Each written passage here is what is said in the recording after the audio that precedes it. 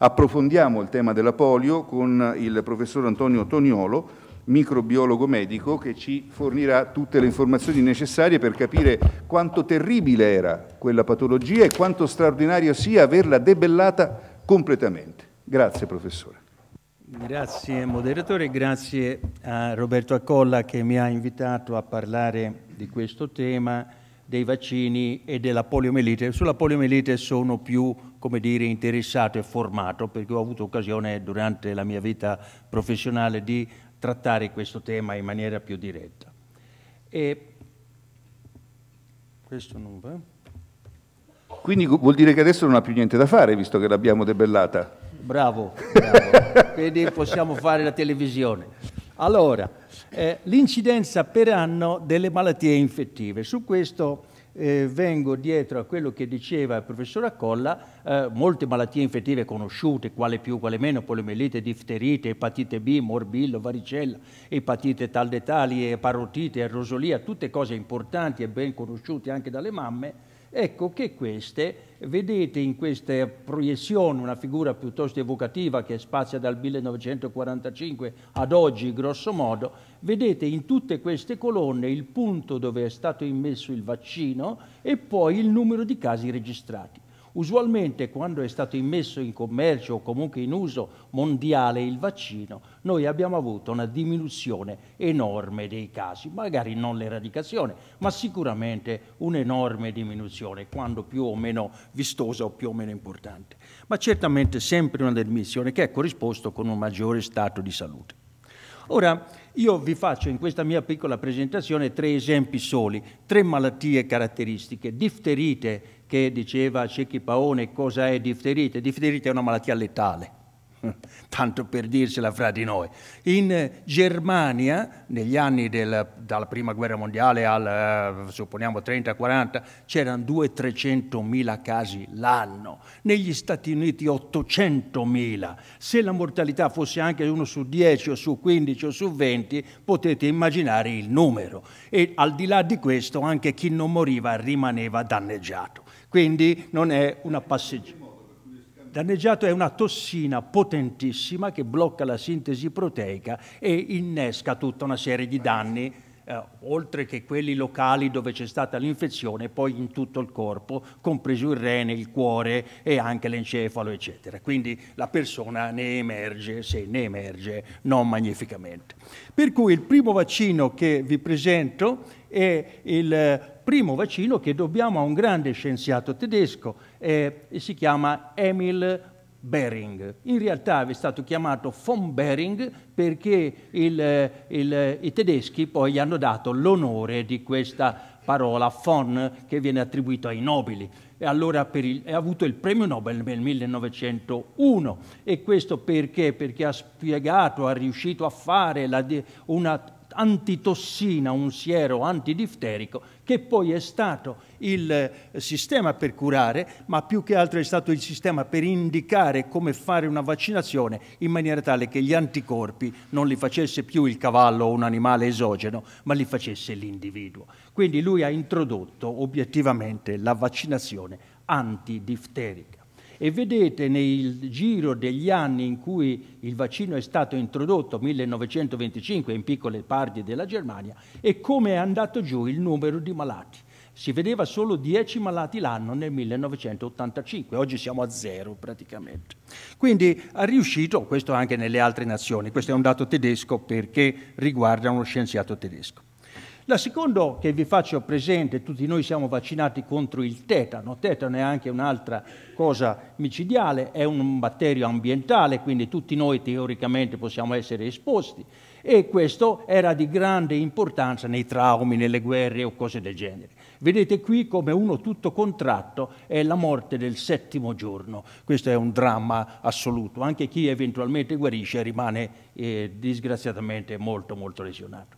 E comunque questi due scienziati tedeschi, sapete i tedeschi sono piuttosto diretti, eh, Wolters e Demel, si sono inoculati un tossoide, una tossina tetanica che era già conosciuta, eh, resa non tanto tossica. Con questa loro si sono immunizzati e siccome ritenevano, avendo fatto delle prove, di essere fortemente immunizzati, si sono inoculati uno con l'altro due o tre dosi di tossina tetanica non toccata e sono rimasti vivi, dimostrando che questa cosa aveva funziona.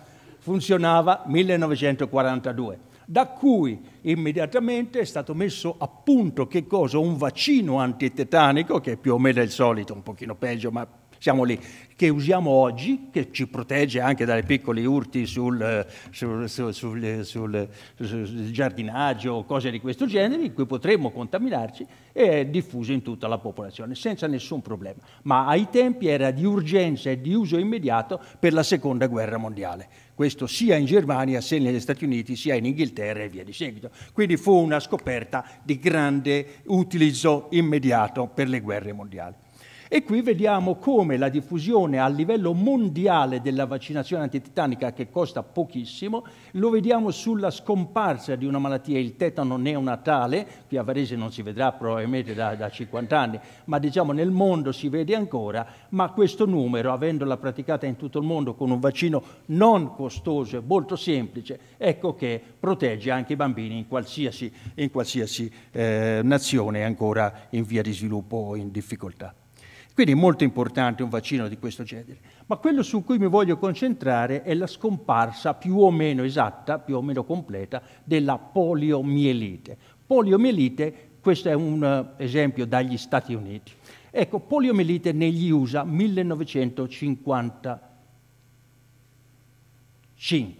poliomielite 55 perché il vaccino è stato introdotto nel 55. Ma la figura fa vedere dal 1915 al 1969. Vedete, c'erano dei picchi epidemici, quale anno di più, quale anno di meno. Come ha detto Cecchi Paone, noi la diagnosi di poliomielite non c'era un gran bisogno di epidemiologi, bastava andare al passeggio a Napoli o dovunque, a Roma o a Torino, uguale, vedevate la gente che camminava male quindi si vedeva subito l'epidemia, non è che ci volesse un fenomeno.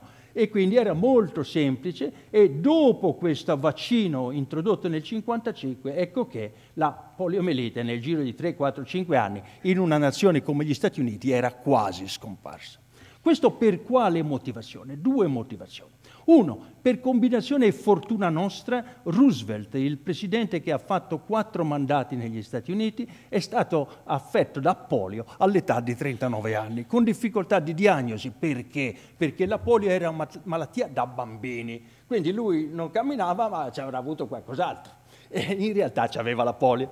E secondo, questo uomo si è recuperato moltissimo dalla polio ha recuperato per una forza d'animo enorme e nel 1932 si è rimesso in politica e è diventato presidente. Morale, siccome era molto Scusi, sensibile... Eh, eh, no, no, sta ancora andando su Roosevelt, perché lui in sedia a rotelle ci ha, ci ha eh, aiutato contro i nazifascisti. Sempre con la sedia a rotelle, eh. piccolina che se l'era fatta fare apposta di bambù, non so come, perché fosse un po' più gentile, diciamo, e però aveva la sedia a rotelle. E eh, il, il, Roosevelt, siccome era molto sensibile giustamente ai problemi dei bambini, degli adulti con la polio e via di seguito, ha messo su il primo programma eh, di ricerca scientifica medica a finanziamento nazionale, questo nel mondo grosso modo, il più grande, il primo grande. E con questo sono stati prodotti i vaccini antipolio i quali introdotti per la prima volta nel 55 e poi successivamente nel 60-62 hanno debellato quasi la polio più o meno in tutti i paesi. Ora, quali sono stati gli scienziati beneficiari dei finanziamenti, ma più che altro che hanno portato i risultati? Sono stati due, Jonas Salk, Albert Sabin. Ora, uno ha prodotto un vaccino così chiamato inattivato, vuol dire che ammazzava il virus, ecco, in pratica. Quest'altro invece ha trovato dei virus che di per sé erano meno potenti, meno lesivi e pertanto dava questi virus eh, così alle persone. Ecco, ovviamente un metodo più economico, più efficace, più semplice da somministrare. Quello che ha ricevuto Cecchi Paone, non so se a Napoli o dove, ma comunque, e l'ho ricevuto anch'io. Quindi noi siamo sempre vivi per questo. E questo è quello inattivato che oggi invece viene preferito. Ma tutta questa operazione di produrre questi vaccini, chiaramente, non è stata banalissima, perché una cosa è inventare una cosa è mettere in ampio uso a livello nazionale o internazionale. Allora il nostro amico Sebin, che era un grande eh, personaggio medico, ma anche un grande personaggio di relazioni, eccetera, essendo di origine polacca, lui ha, ha messo su una cooperazione tra gli Stati Uniti e la Russia in tempi di guerra fredda e che è andato dal suo collega più autorevole che aveva fra i virologi eh, in Russia, che si chiamava Mikhail Chumakov. Questo Mikhail Chumakov comandava le, l'istituto di encefaliti e malattie virali di tutto l'USSR e aveva un territorio sotto la sua controllo di oltre 8.000 chilometri, inclusa tutta la Siberia. Quindi era un potentissimo personaggio, ma non solo un potentissimo personaggio, un uomo di grandissima potenza, intelligenza e capacità e Chumakov è questo qui che vediamo a parlare con Sebin a Mosca che stavano organizzando cosa? La produzione dei vaccini di Sebin in Russia e poi il loro successivo trial sulla popolazione che in Russia, si, che negli Stati Uniti avevano delle difficoltà a voler organizzare. Pertanto, quando gli Stati Uniti hanno visto che il trial sovietico aveva funzionato nel 1960, nel 1961 ne fu approvata la produzione di quel tipo di vaccino Sabin negli Stati Uniti e è stato iniziato anche l'uso negli Stati Uniti. Mentre l'Organizzazione Mondiale della Sanità ha iniziato le vaccinazioni a livello internazionale, ma utilizzando il prodotto russo. Quindi per anni c'era discussione, è meglio quello russo o quello americano, sono uguali, non lo so. Comunque hanno collaborato tutti e due molto bene, portando il vaccino a livello di, eh, di uso mondiale. Su questo è una piccola curiosità, questa è una lettera in, di Sebin, eh, che serve per sponsorizzare l'entrata negli Stati Uniti nel 1992, dopo la caduta del muro di Berlino, la ferite nella, nella, nella Unione Sovietica, eccetera, del figlio di Chumakov Mikhail, che si chiamava Konstantin, che si chiama Konstantin, e lo sponsorizza spiegando quali sono i meriti di questo ragazzo, ragazzo si fa per dire, diciamo che aveva eh, capacità nella virologia molto pronunciata. Ora questo è l'amico Chumakov, il col quale abbiamo lavorato anche all'Università dell'Insubria, dove eccolo qui, questo vedete che è un russo, tranquillo, simpatico, e abbiamo discusso come poter ritrovare nelle patologie croniche il poliovirus. Insieme a lui abbiamo portato a pubblicazione alcune cose anche nel 2017, ma anche, più, anche successivamente, insieme a colleghi dell'Insubria, fra cui Salerno, fra cui Bono e compagnia. E questa è stata una soddisfazione personale. Questo è un altro conoscente amico che è Nils Franzen. Perché ho questi amici? Perché essendo io che cammino male mi hanno preso sempre per polio. Poi mi hanno detto, ma siccome te ti intendi di virus, Dice, perché non ci aiuti? Dico, ma guarda, di polio non l'ho mai avuto, non me ne intendo. E insomma, bene o male, qualcosa ho imparato. E allora anche questo, che è un regista eh, danese, vedete, un bell'uomo, eccetera, eccetera, valido e tutto il resto, ha fatto la polio nel 52 all'età di due anni. Guardate cosa ha ricostruito il regista, basandosi su filmati, immagini e robe del genere, poi, eccetera, del suo tempo. 1952, Copenaghen. Copenaghen ha chiamato il film L'epidemia. L'epidemia perché questo era lui e questo è lui adesso. Quindi certamente ha fatto un po' di difficoltà. L'epidemia che era avvenuta a Copenaghen a settembre del 1952 era un'epidemia particolarmente intensa. Vedete, non c'erano computer, lo sapevamo, eh, ma c'erano gli spilli sulle piantine e quello si faceva un bel lavoro, però era impressionante. L'ufficio di igiene o cose del genere aveva questo tracciato ed era impressionante. E questi erano i bambini eh, ricoverati, al quale con addirittura degli ausili respiratori e via di seguito capite facilmente la difficoltà della situazione. Siccome settembre era ancora un tempo decoroso, un clima ancora un pochettino illuminato, portavano i bambini o i malati all'aperto per tenerli un pochino fuori. Questo è il nostro Franzen che sta eh, cercando di ricamminare e questa è la sorella che anche lei è stata rovinata.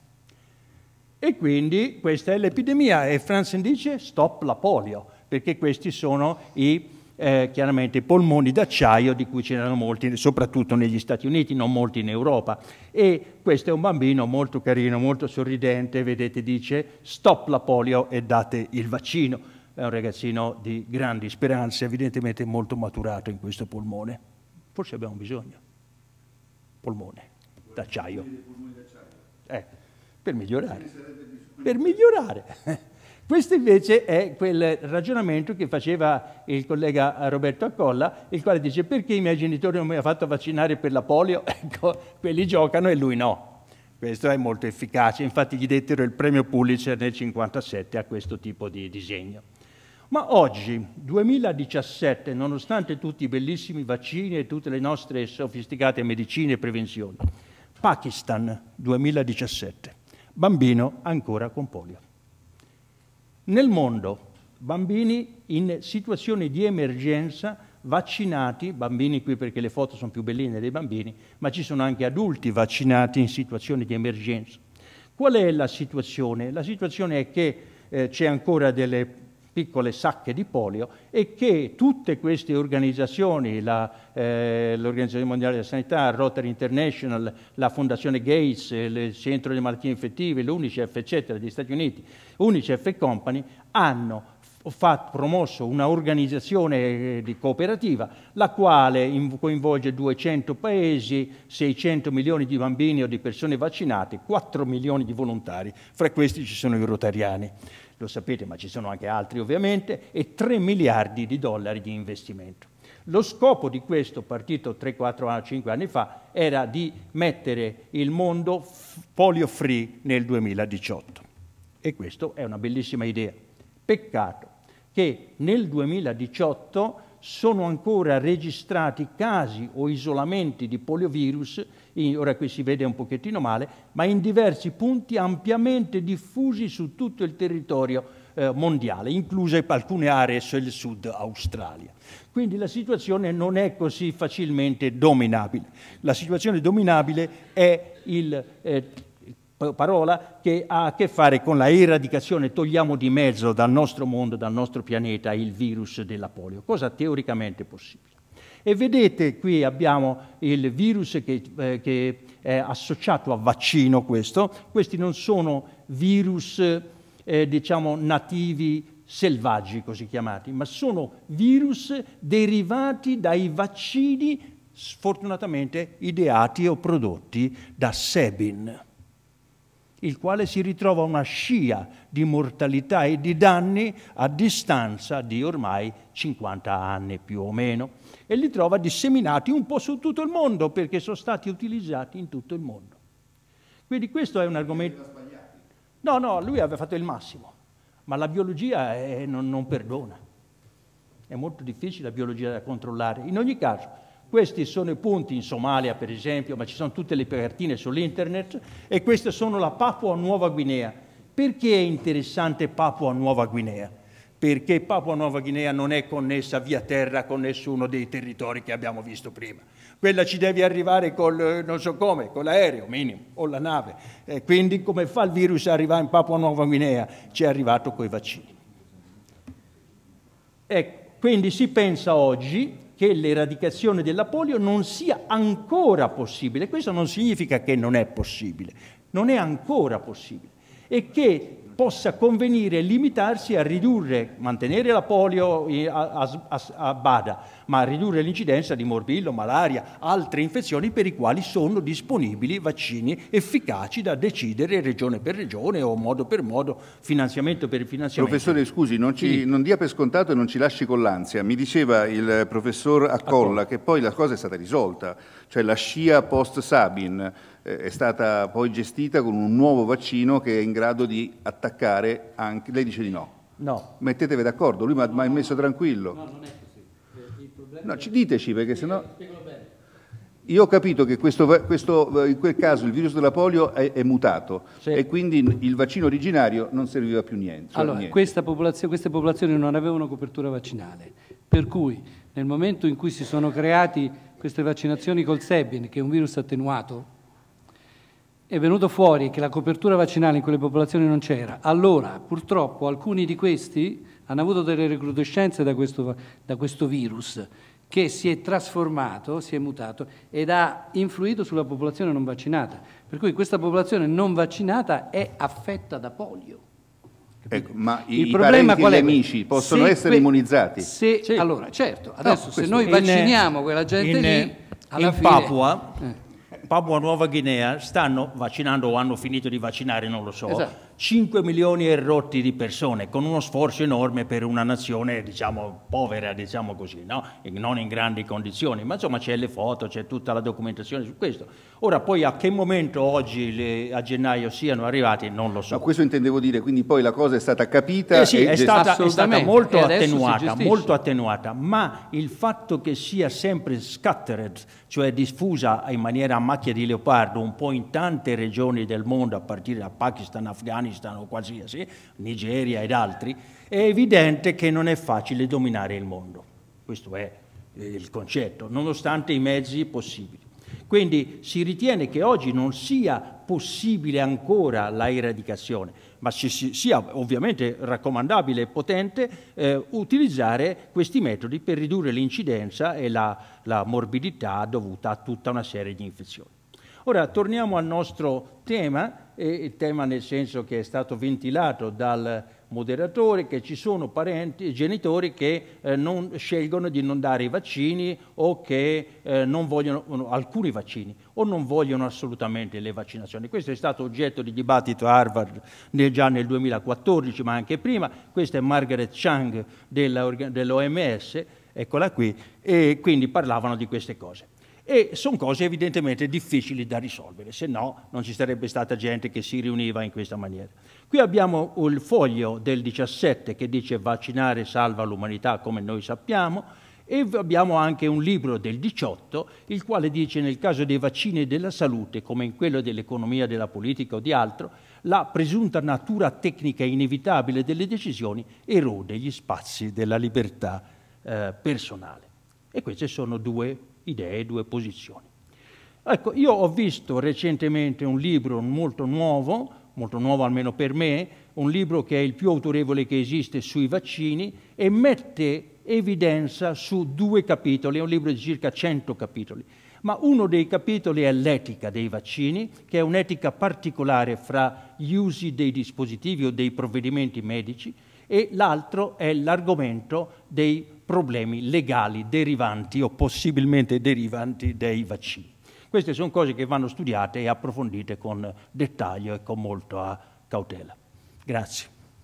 Grazie professore, anche perché ci ha lanciato i temi poi successivi che, che tratteremo a proposito dell'etica e appunto a proposito della presunta democraticità o non democraticità della scienza, che è un tema caro al professor Burioni che lei ha citato in una, in una slide. Però eh, il tema più immediato riguarda appunto la vaccinazione in età pediatrica e la paura che ha colto genitori giovani, nuovi, che evidentemente non avendo visto la malattia o non conoscendo questi dati, oppure vedremo quali possono essere le altre ragioni, non vogliono vaccinare i bambini o lo fanno con particolare paura.